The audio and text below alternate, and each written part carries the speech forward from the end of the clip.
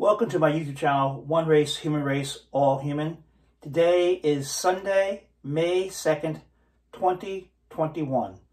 Everyone should be treated equally on this planet known as Earth with dignity and respect. With Karen Bass, last year, when I was intricately involved in this, we were looking at body cam uh, cameras as a requirement. Now, exactly uh, where they are today with that, I don't know. I certainly hope uh, we can do so and we do it in a way uh, that we have penalties uh, for people who don't uh, use them. What we having time and time again, something happens and someone says, well, this camera, he has the camera, but it wasn't turned on.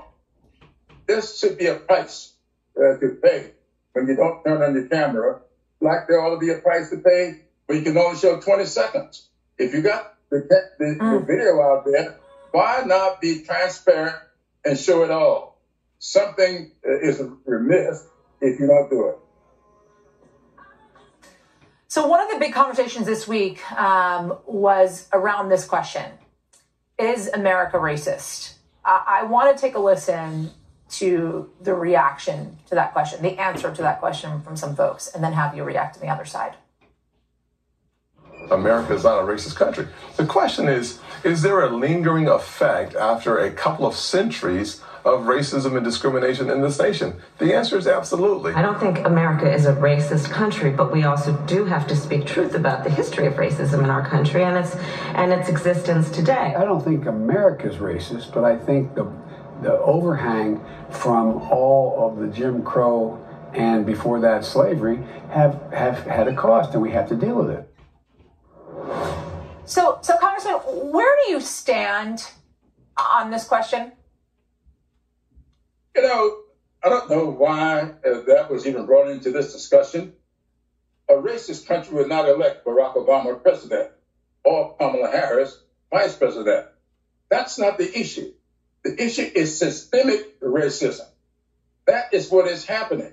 And we know that to be the case.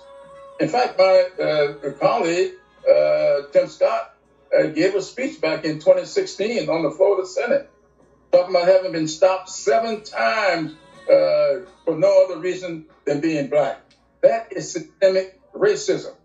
And he says someone approached him on the uh, campus there of the Capitol saying, I recognize the pin you're wearing, but I don't recognize you. Show me your uh, identification. That is systemic stuff that we got to get out of the system.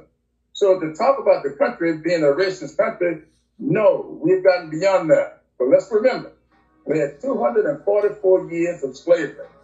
We had another 100 years of Jim Crow. Count the generations. 350 years. That's a long time. It was not until 1954 when we got a Supreme Court decision that started the dismantling uh, of this uh, process. So let's just admit that we got a problem. As you know, uh, I study history relentlessly, and I'm telling you, uh, each, each passing day, I think about George Santayana when he said to us, if you fail to learn the lessons of history, you're bound to repeat them. People like to repeat the history they don't want to learn the lessons of history. And if you don't learn these it's lessons. Yeah. Yes, ma'am. No, I, I, didn't mean I didn't mean to cut you off, Congressman, but but but it's interesting the way that you say that we need to address these problems in this country, as the Vice President said as well. But you have you have Mitch McConnell in Washington writing a letter essentially saying to the education secretary, essentially saying to the Biden administration, that they should not be addressing systemic racism in response to um, the fact that they felt like there needs to be programming programs, excuse me, in the education system addressing systemic racism. He also wants to do away with the New York Times Magazine 1619 project. I want to read for you a part of his letter where he said families did not ask for this divisive nonsense. Voters did not vote for it. Americans never decided our children should be taught that our country is inherently um, evil. When in fact, this is not doing that. It, it's teaching children about the history of this country. That's exactly what it's doing. And Mitch McConnell ought to be ashamed of himself. 1619 that's just the title based upon when blacks were first introduced uh, in this country. And he knows uh, uh, my predecessors came here uh, because uh, against their will, became here and were enslaved, and that lasted 244 years. Everybody needs to be taught that. He should be taught that. And we all would be working to overcome that. That is what we've been trying to do. Supreme Court uh, uh decisions, time and time again, keep saying, one of them especially, in order to get beyond race, you must first take race into account, which means that if you're going to solve the race problem, you've got to admit that there is a problem, identify the problem, and let's work to overcome it, not avoid it, pretend it didn't happen. Uh, that's benign neglect. And that's what we did to the Native Americans. But we are not going to allow that to happen to the African American. We have learned that lesson of history, Mr. McConnell, and we're not going to repeat it. Congressman Jim Clyburn, thank you. Uh, great conversation. Appreciate you joining us on this Sunday, as always.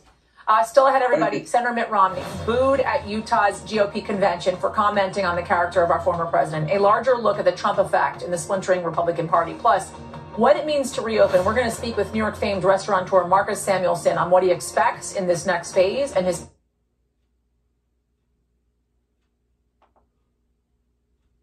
Clyburn, thank you. Uh, great conversation. Appreciate it. it's so important that we teach love, agape love, which means respect for all people everywhere, concern for all people everywhere. It's important that we teach there's one race, human race. We're all one. We're human beings. And that Color has been used to oppress people. America was built by people of color. Free labor, that's a fact. Slavery equals free, free labor. You work night and day, day and night, we don't pay a thing. You do that for 400 years, boom. Do that for 100 years, 200 years, 300 years. Okay? And you become what? Rich. Our case, what's in 1619, huh? And then you have the, the poor um, immigrants coming in the 1920s, uh, Italians, Irish people, other people were mistreated also. They were still white, and they were able to climb up that uh, social ladder because of their skin color, but they're still mistreated. It's wrong to mistreat anyone, period. Everyone, African American, Latino, Asian, Native American, European Americans, white Americans, everyone has a right to life, liberty, and pursuit of happiness on this planet known as Earth love, concern, compassion, treating everyone with dignity and respect equally is the answer. Thank you for being on my YouTube channel, One Race, Human Race, All Human.